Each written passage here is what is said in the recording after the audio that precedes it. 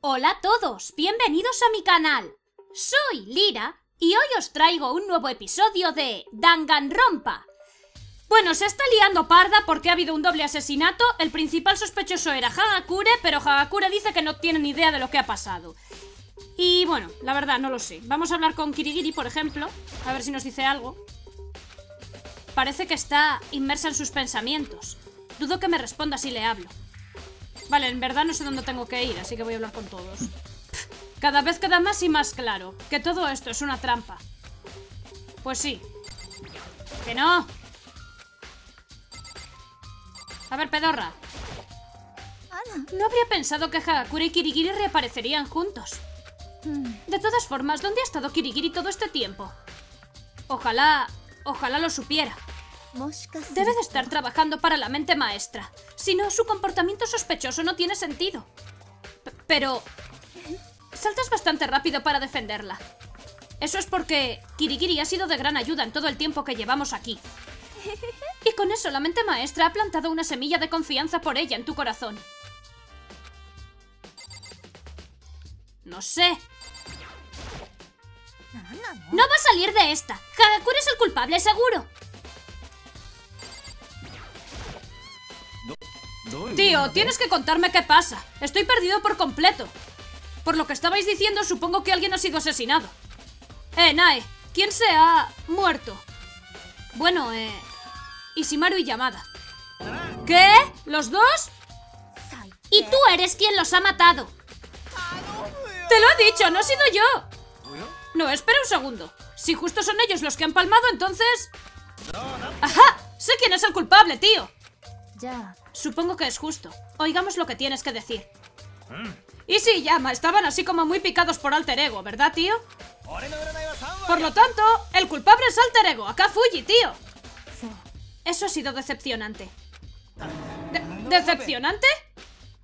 Ríndete ya, no nos vas a engañar. Tú los mataste, ¿verdad? Te lo he dicho, te estás pasando de la raya.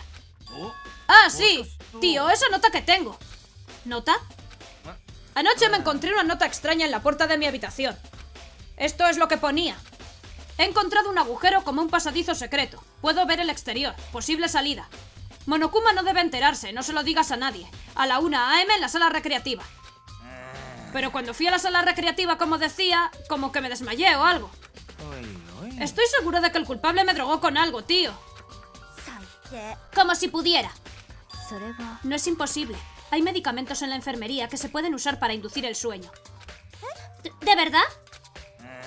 Como pensaba, me han timado. Sabían que caería con eso de pasadizo secreto y puedo ver el exterior. Me han engañado, tío. Y te han pillado como un ratón en una trampa. Cuando llevas encerrado tanto tiempo, quieres leer cosas como esa, aunque sepas que es mentira, ¿eh?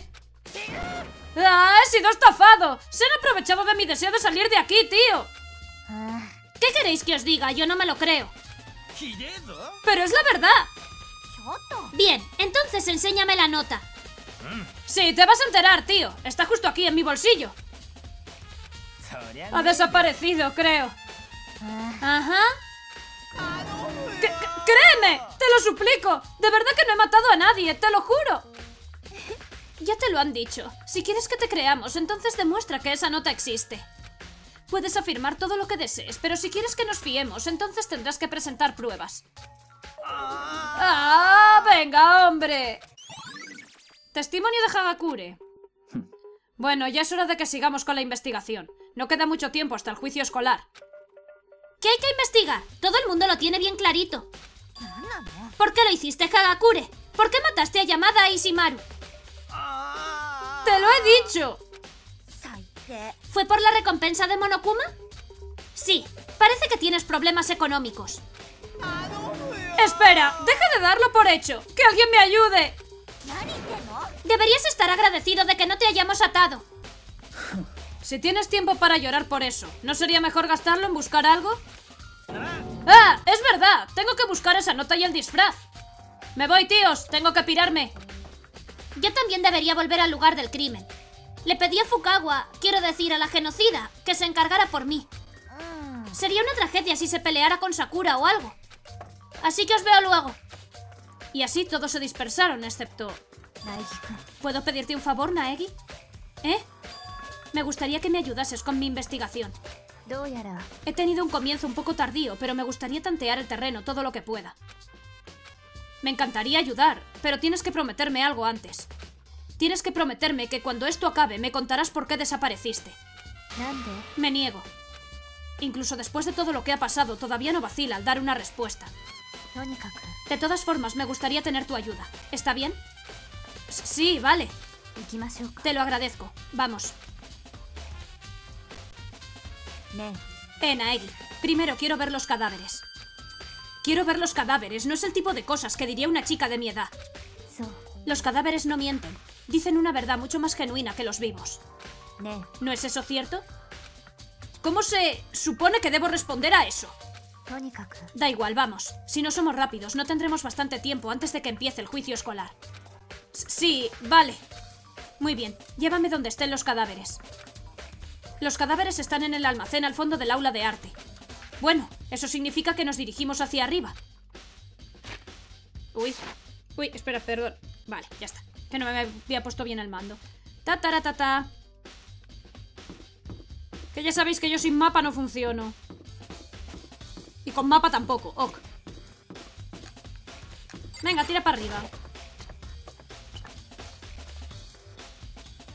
Aula de arte, aula de arte, por aquí.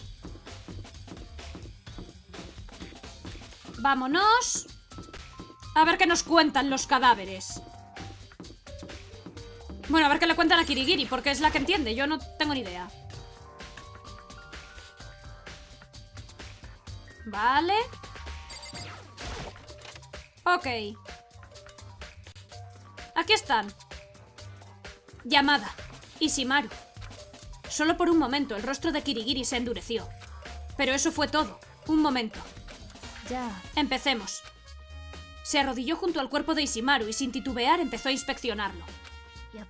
Justo como dice la ficha Monokuma, fueron asesinados con armas similares. Mientras trabajaba parecía despreocupada, indiferente, parecía algo natural para ella, hasta el punto en el que incluso mi incomodidad empezó a desvanecerse. A ver, Kirigiri, ¿qué me cuentas, guapa?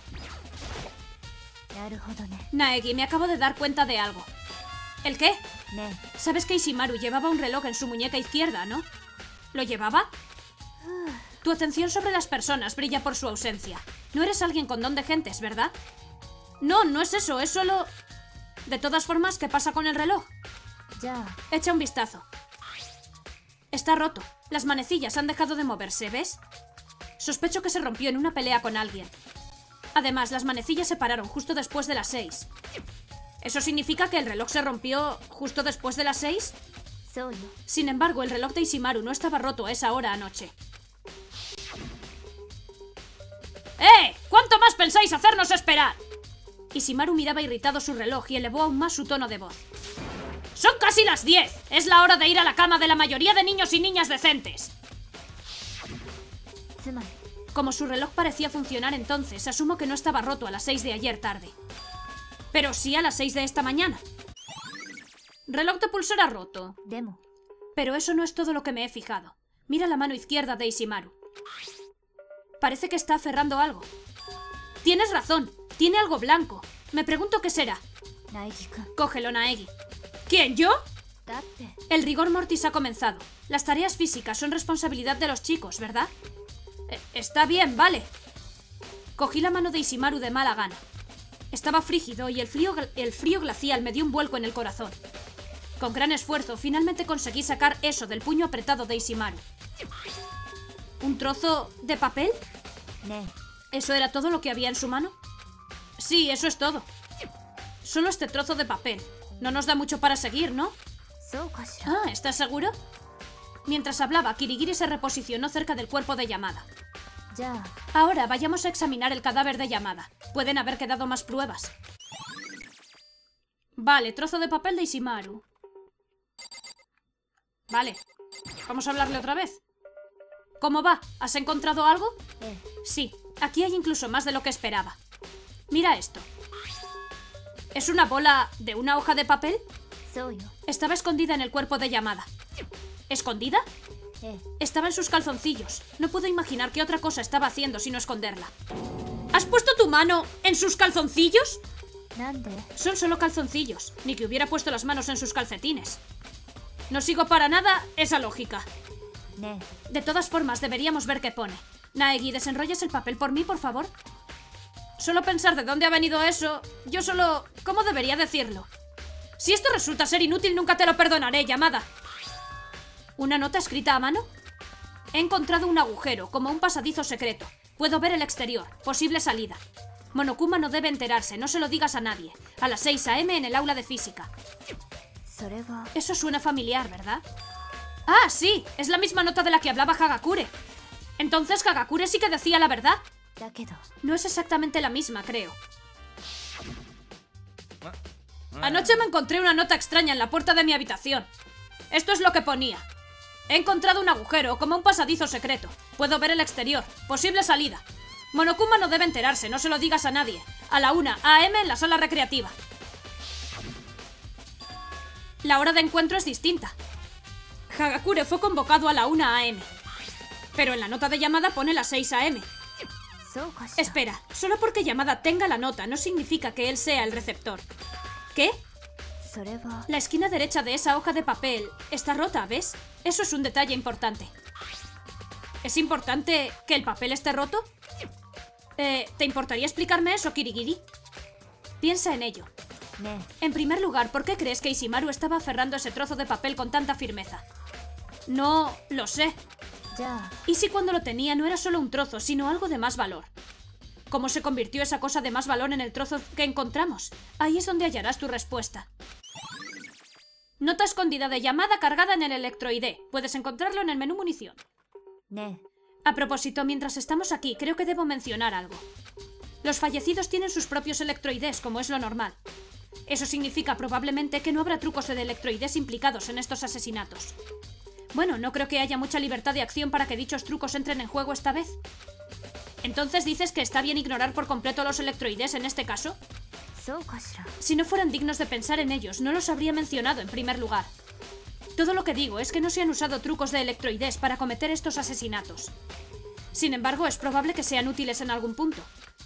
¿Los electroides eran útiles en algún punto? No tengo ni idea de qué está sugiriendo. Pero como es Kirigiri quien lo dice, vale la pena recordarlo. Electroides. Oh, oh, va a empezar el juicio escolar.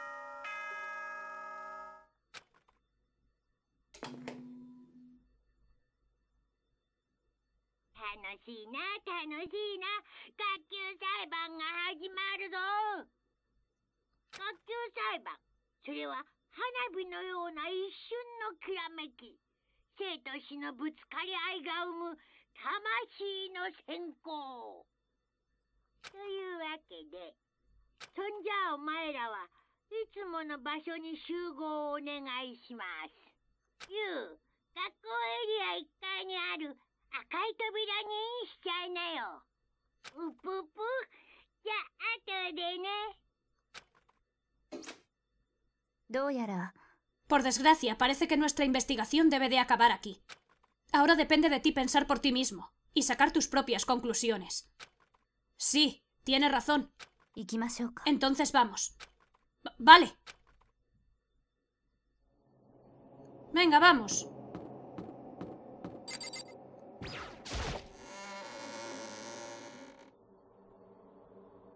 Que nos cuenten el previo del juicio y nos iremos para allá. Aquellos que oyeron la orden de Monokuma se reunieron al otro lado de la puerta roja. Y después de que llegáramos...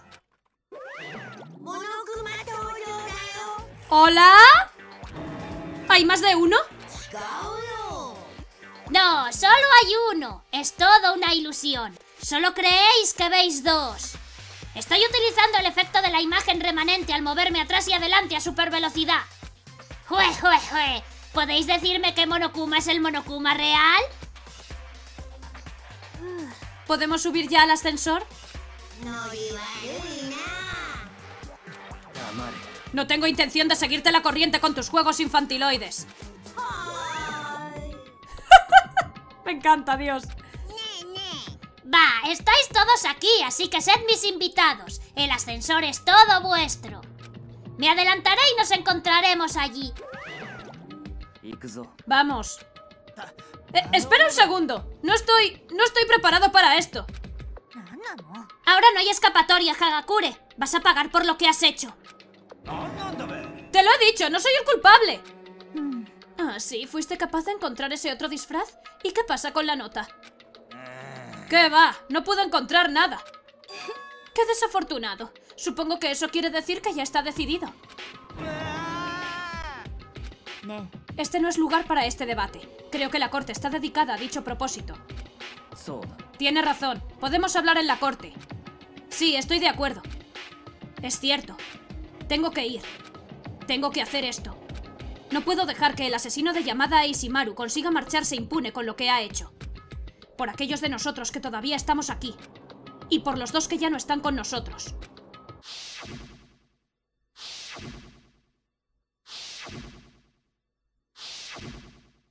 Alguien en esta habitación. Una de estas ocho personas.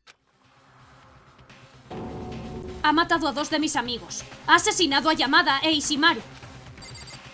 Bueno, pues venga, nos vamos al ascensor. Tomé una larga y profunda inspiración, solté el aire lentamente y después caminé hacia el ascensor. Cuando todo el mundo se hubo subido. La puerta del ascensor se cerró al instante y el ascensor empezó su descenso.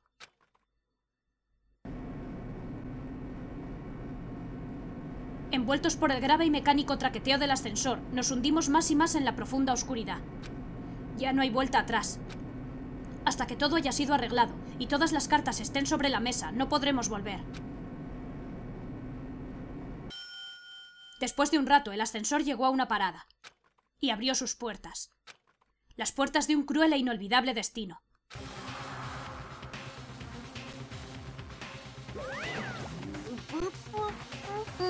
Veros a todos aquí así me hace darme cuenta. De los pocos que quedáis, siento que el clímax está justo a la vuelta de la esquina. Todo esto es por tu culpa. ¿Por qué nos haces esto, tío? Es crueldad animal, pero al revés. ¡Cuo, cuo, cuo! ¿Cómo puedo no gustarte? Soy tan condenadamente adorable. Oye. Déjate de estupideces y empieza de una vez. Oh, empezaré. Vaya que sí empezaré. No voy a alargar las cosas con memeces como la emocionante conclusión tras estos anuncios. Así que pongamos el espectáculo en marcha. Id a buscar el sitio con vuestro nombre. Y otra vez se levantó el telón. Un juicio por la vida y una condena de muerte.